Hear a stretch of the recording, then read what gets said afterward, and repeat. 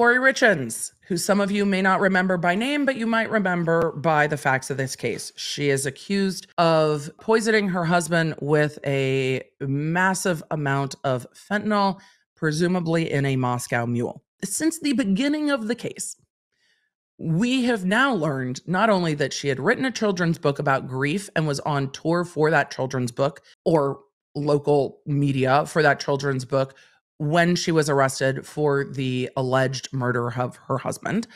This is a, another case out of Utah. She also wrote a letter slash novel that was titled Walk the Dog.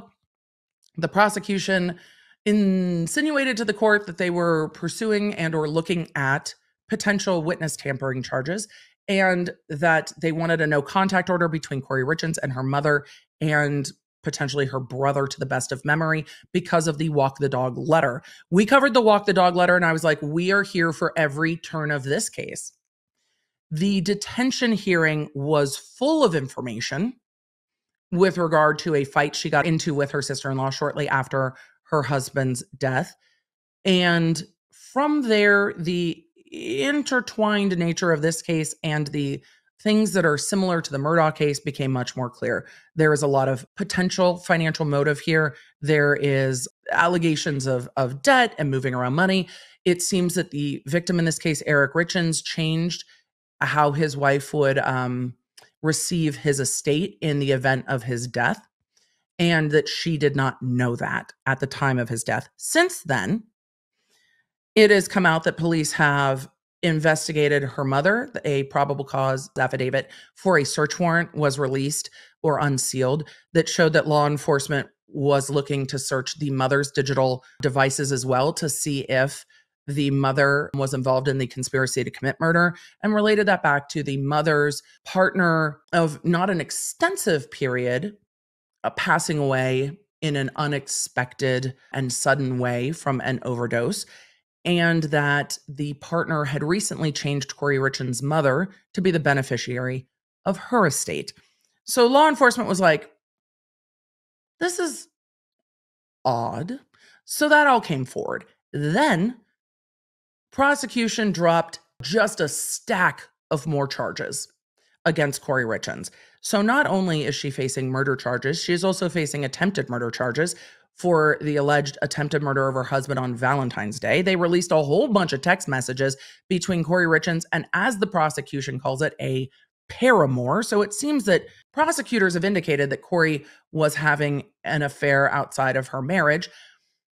We have the walk the dog letter that tells her mom that we need a story about whether Eric was picking up fentanyl in Mexico we have a bunch of financial crimes now, including mortgage fraud, fraud, and other crimes where she was alleged to have been presenting false documents to the bank to take out more loans. She was incredibly in debt with houses that she was flipping for her real estate business, and her husband's business was thriving. She also was well aware that the only way she would take any part of her husband's estate is if he died while they were married per their prenuptial agreement. And in that context, we have this motion to pre admit exhibits for the preliminary hearing that is next week. State's motion to pre admit exhibits. So, state hereby moves under lots of sections of the evidence code to pre admit evidence for the purpose of preliminary hearing. Your Honor, can we fight about it now? Can we just talk about it now so we don't have to do this? The prelim's going to be like a week. The proposed exhibits are available to the defense in a shared discovery file. The state will deliver them to the court on a thumb drive when it files a request to submit for decision.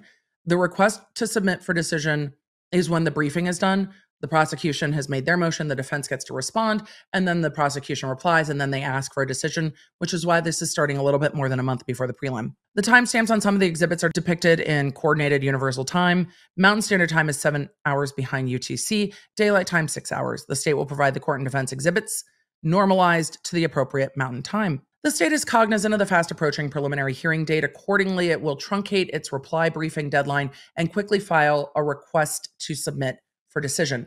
Ideally, this will allow the court an opportunity to rule on this motion well in advance of preliminary hearing. I've not seen this done this way, but th- it feels almost like prelim motions in limine, which is great. On April 5th, the state asked the defense whether it would stipulate to the admission of any proposed exhibits. The defense has not responded at the time of this filing. So the defense is left leaving the prosecution unread and they're like, we just need a decision. Let's get to the evidence. State's Exhibit 1 is a certified transcript of the detention hearing, the detention hearing testimony of the detective. The uh, other witnesses is admissible, they say, under 1102b2, former testimony. Each witness gave testimony at the hearing in the current proceeding, and the defense had an opportunity and similar motive to develop the testimony by cross examination. The defense diligently exercised its opportunity to cross examine. So, like, the defense isn't going to be deprived of anything if that testimony is admitted here, is, is their argument. A portion of Detective O'Driscoll's testimony includes statements by certain drug dealers and others involved in the defendant purchasing fentanyl. Uh, this testimony requires a hearsay within hearsay analysis. The statements of those involved with the defendant purchasing fentanyl are admissible under 1102b2, which references Utah Rule of Evidence 804 because they are statements against interest in each instance. So when we're talking about double hearsay, you've got to go like layer by layer. The detective is testifying to what others learned from them. So detective to other officer, other officer to the drug dealers. So, drug dealers, officer, officer, detective, those are the two levels of hearsay, which shouldn't be hard to overcome for preliminary hearing, honestly, because they've already had those cross examinations. A portion of Detective O'Driscoll's testimony includes statements by other law enforcement officers. Emily, you should have just kept reading. The testimony requires hearsay within hearsay. Statements by other law enforcement officers are admissible under 1102b6 because they're statements of non testifying peace officers to the detective who is testifying. Accordingly, all testimony contained in the transcript of the hearing is admissible. States Exhibit 2 is a certified transcript of the 911 call. 911 calls are admissible. I'm not going through the analysis. States Exhibit 3 is going to be the body worn camera video from the night of Eric Richins' death. There's going to be a business records exception to that. The statements on the video are made by either the defendant, first responders, or family members. The defendant's statements are not hearsay because they're statements of a party opponent. Most of the statements by first responders and family members are not hearsay because the state is not offering them for the truth of the matter. Rather, the state is offering them for their effect on the hearer, the defendant. So, how is the defendant responding to the things that are being said to her in this circumstance? What is her behavior and demeanor? States Exhibit 4, the OME report the OME supplemental report and the autopsy reports. States Exhibit 5 is a certified copy of law enforcement's April 14th, 2023 interview with defendant. The statements are made by either defendant, detectives, or defendant's mother. The defendant's statement are not hearsay. They're statements of a party opponent. The detectives and defendant's mother are not hearsay because the state's not offering them for the truth. The state is offering them for the effect on the hearer, the defendant. Again, why is the defendant doing, saying, or responding the way that she is? Six through eight are the text message exchanges between defendant and paramour and defendant and Bestie. Most of the statements of those she was texting are not hearsay under 801. State's not offering them for the truth. State is offering them for effect on the hearer, of the defendant. So the state's saying, we're not saying that what the paramour said to Kouri Richins is true or not. We're saying it to give context to how she's responding. This is, they could also argue completeness, but that's what they're arguing certified transcript of telephone calls between defendant and mother and defendant and brother. Defendant statements are statements of a party opponent. Most of mother and brother statements are not hearsay because the state's not offering them for the truth. To the extent the state offers any of defendant's mother's or brother's statements for the truth, they're admissible under 1102b1 because they are present sense impressions. So, hey, there's a few things in here that are responding to what's happening. Exhibits 11 and 14 are the falsified bank records. Exhibits 12, 13, 15, and 16 are bank account records. 17 is the life insurance policy application for the husband. States Exhibit 18 contains TruStage's notes regarding defendant's insurance claim. They say it's admissible because it is business records.